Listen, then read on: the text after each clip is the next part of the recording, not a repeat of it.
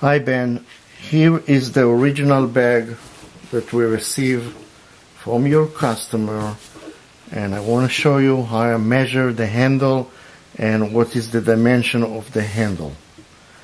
Okay, we created a triangle and we create a half handle right in the center of the handle. And now we have we can mark it here.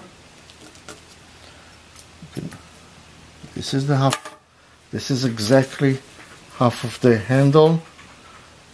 It's marked and now we're going to measure it from the tip of the bag right from here all the way to this point. and when we measure it here the dimension is exactly uh, nine and a half actually a bit I would say nine and three eighths or nine and a half is the dimension right here. Uh, I hope you can see it with the camera. Let me zoom on it so you can see. It's right here by the mark and it is nine and a half inches.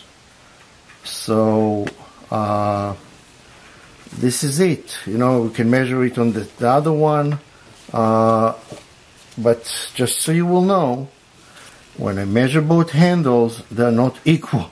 One is slightly longer than the other. So even on the same bag when you measure it you will find out it's look like they're the same but if you uh, and it really doesn't make any difference because nobody will ever do what we do. No customer will ever do it no end user ever do it.